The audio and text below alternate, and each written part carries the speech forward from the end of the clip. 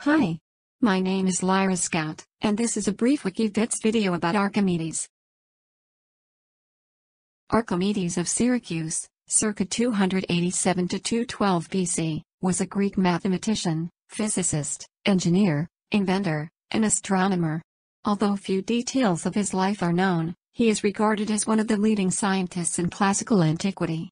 Generally considered the greatest mathematician of antiquity and one of the greatest of all time. Archimedes anticipated modern calculus and analysis by applying concepts of infinitesimals and the method of exhaustion to derive and rigorously prove a range of geometrical theorems, including the area of a circle, the surface area and volume of a sphere, and the area under a parabola.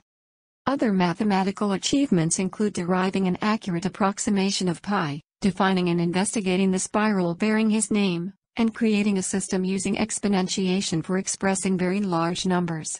He was also one of the first to apply mathematics to physical phenomena, founding hydrostatics and statics, including an explanation of the principle of the lever. He is credited with designing innovative machines, such as his screw pump, compound pulleys, and defensive war machines to protect his native Syracuse from invasion. Archimedes died during the siege of Syracuse when he was killed by a Roman soldier despite orders that he should not be harmed. Cicero describes visiting the tomb of Archimedes, which was surmounted by a sphere and a cylinder, which Archimedes had requested to be placed on his tomb, representing his mathematical discoveries.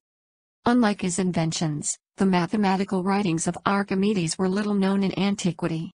Mathematicians from Alexandria read and quoted him, but the first comprehensive compilation was not made until circa 530 AD by Isidore of Miletus in Byzantine Constantinople while commentaries on the works of Archimedes written by Eutocius in the 6th century AD opened them to wider readership for the first time.